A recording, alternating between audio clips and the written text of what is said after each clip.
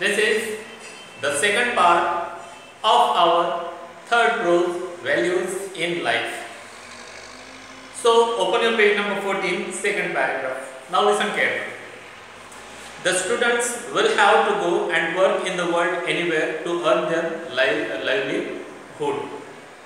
So here Rudyard Kipling is telling in his speech to the students that all the students will grow up and they will work in any part of this world for their livelihood, for their family, for their foods.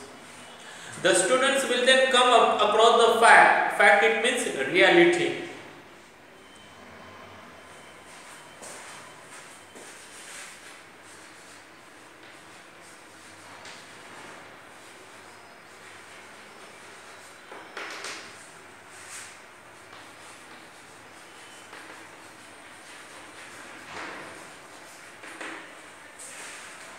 fact which will make them believe that the world is governed by the idea of wealth for wealth's sake.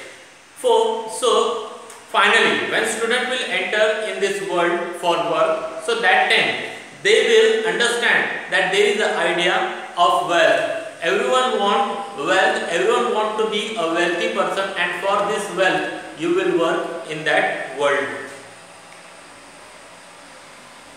They will feel that although some ways of getting wealth might not be good or worthy to follow, but they can choose to follow that, student will not welcome such thoughts and they would stand against it. So, when you are going to collect money or wealth and you will for that do some work, some work will be good, some work will be bad, but fortunately or unfortunately you have to accept that work you have to do that work and collect money well. If you are like that or you don't like that but you have to do that and collect the money. But some students will oppose it. Some student will protest against it. Even though they will have to live and deal with the world which is influenced by the thought. Influence it means?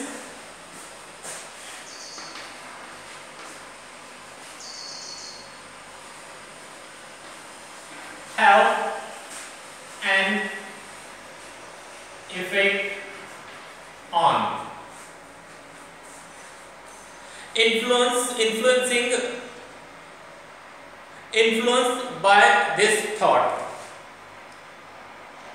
so, if any student is opposing this idea that you work to collect wealth, this is the idea, you work, anybody work to collect wealth or money. And if anybody is opposing it, so finally, that student also will accept this thought and deal according to this thought and he will also have influence of this thought effect of this thought in his life and he will also work to collect money to collect wealth. Some might even follow the path. Shortly wealth for the sake of wealth and all ways of getting wealth can be followed although some of them might be bad. Are the two thought influencing the world? So there are two th two thoughts in the world that wealth for the sake of wealth. So you earn wealth money. Why? Because you need money, you want money. And another thought is that you collect money. But some people collect money with the wrong way, bad way. And some people like to collect money by the wrong way or bad way and some people don't like to collect money by the wrong way or bad way. But everybody want to collect money or wealth in this world. The author does not mean to say that students should be away and prevent themselves from coming under such influence. Prevent it means. Stop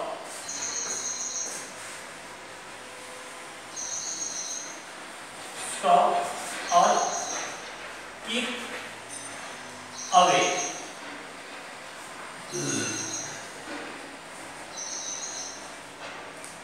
The author does not mean to say that students should be away and prevent themselves from coming under such influence. So the author Rudyard Kipling is not trying to tell anybody that you should stop or keep away this thought from your mind that you don't want to collect money. You can collect money but don't have influence of money on your life. Instead, he wished that after abiding, abiding means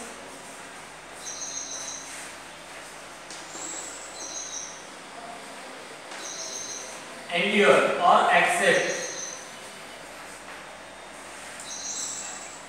abiding these thoughts in preliminary phase preliminary it means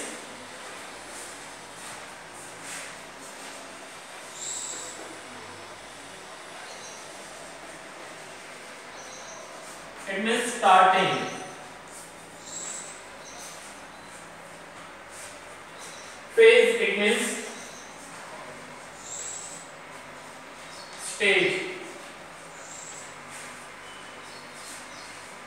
they should look around and find that there are essentially few persons who does not believe in these thoughts at all.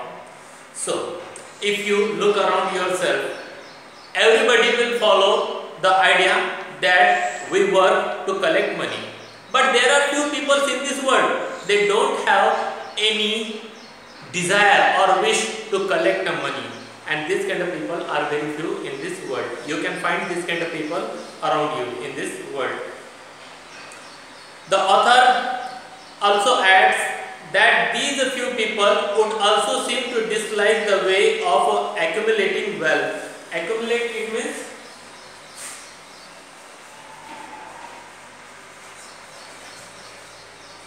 to collect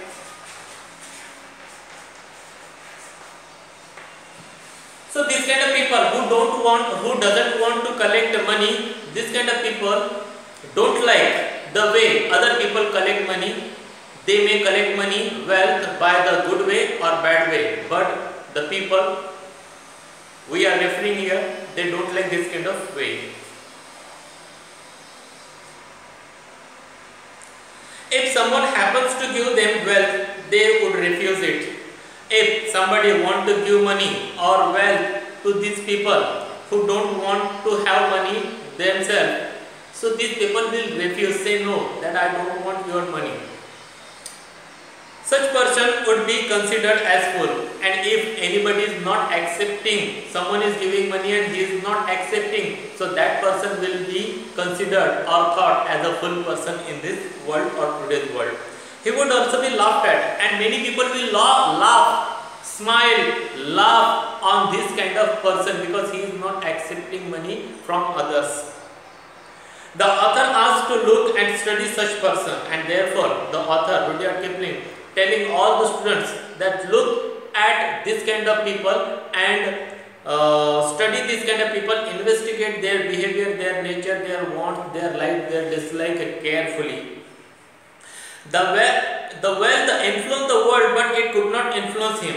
So, if you found this kind of any person, so the wealth, money will influence the whole world, all the people, the, but the wealth does not influence this kind of people who don't want to earn money, lot of money in their life.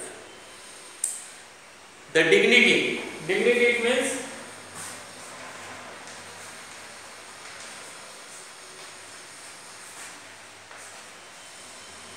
nobility, pride, honor, or respect. The dignity of the person like him would always be much higher. So this kind of person would have a lot of higher dignity, pride, nobility in this world. People would feel he is fear, but he will remain fearless.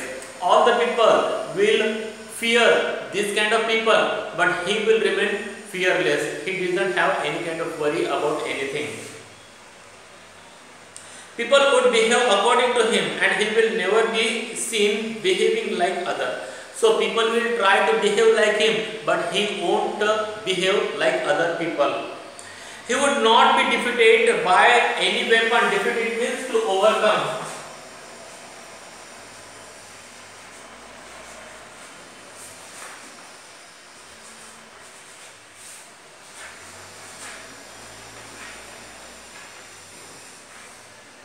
So this kind of person you cannot defeat, this kind of person you cannot overcome this kind of person by any weapon. He would always victorious. Victorious it means successful. That person always be successful, victorious in his life.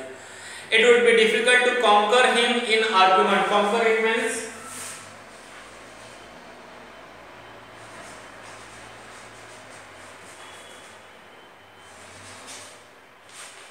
control by force. So in any argument you cannot control take control on this person because he had lot of to tell anybody but other people don't have anything to speak about this kind of person. He would be a great achiever and his achievement would always be superior than the one achieved through achievement of wealth. So anybody is achieving wealth, so that person is not very important in this world because whatever this kind of person achieved in their life that is more important, more valuable than the wealth which we have achieved in our life. So in this way, this second part ends here. We are going to stop here. Have a good day all of you. Thank you very much.